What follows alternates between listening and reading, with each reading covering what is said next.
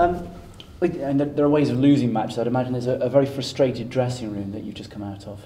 Um, yeah, massively frustrating, obviously, to, to come off the pitch with, with nothing. It's, it's tough to take, you know. I think for long spells there in, in the game, we put under a lot of pressure. Um, but truth be told, we never really had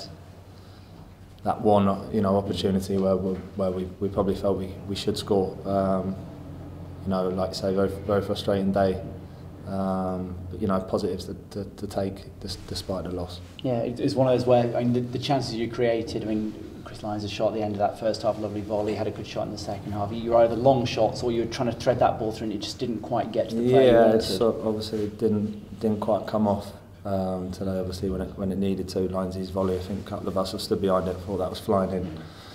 Um, he has a shot at the end as well, which, you know, yard to the left or right, the keeper may, may have caused him a, a problem. Um, and you know, a few a few other opportunities. Maybe if that if that last ball was was killer, then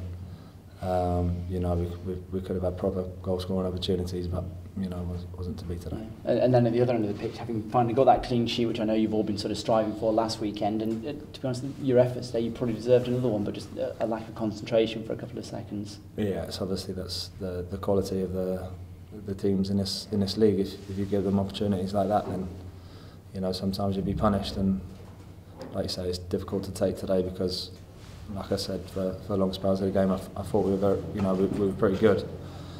Um, and other than that opportunity, never, you know, the couple of crosses that, that sort of were dealt with, but never really felt like we were under too much pressure that, and, and felt like they were going to score. Um, So, like I say, it's very frustrating. Yeah, and one of those, it's actually a good game to watch. Is it one to enjoy playing in?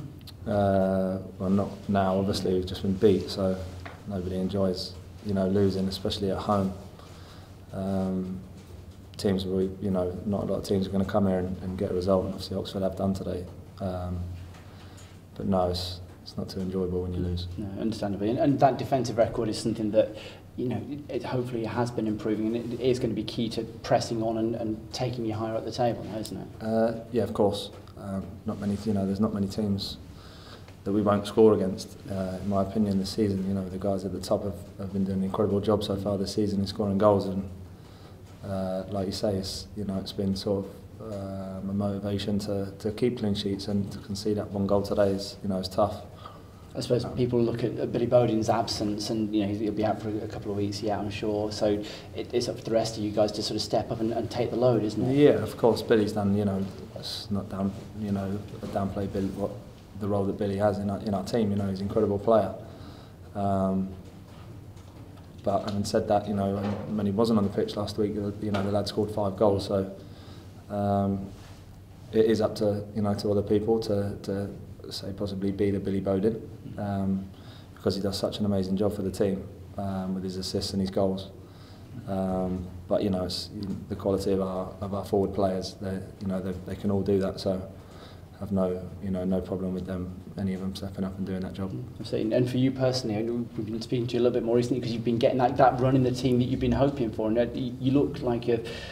you're feeling more comfortable at right back. You look like you, you settled into it nicely now. Um, I guess so. Yeah, I guess so. It's uh, you know, it's always tough. The competition for, for places all, all across the team is, you know, so big and. Um, just trying to, every time I get an opportunity to play to, to you know to play as well as I can do um, give everything I can and and you know I hope I can I can con contribute positively to the team. But it's nice to, like you say, play play more.